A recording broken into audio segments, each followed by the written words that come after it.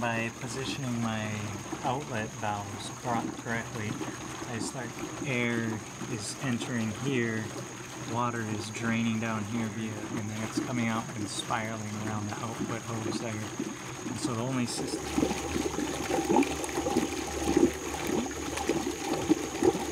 I want to add the vinegar.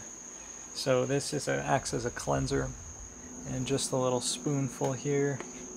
Put that in is coming down to a three quarter inch with a rubber fastener on there. It is ready for me to drink. The taste is similar to kombucha. Oh, Feed. I can even spray this.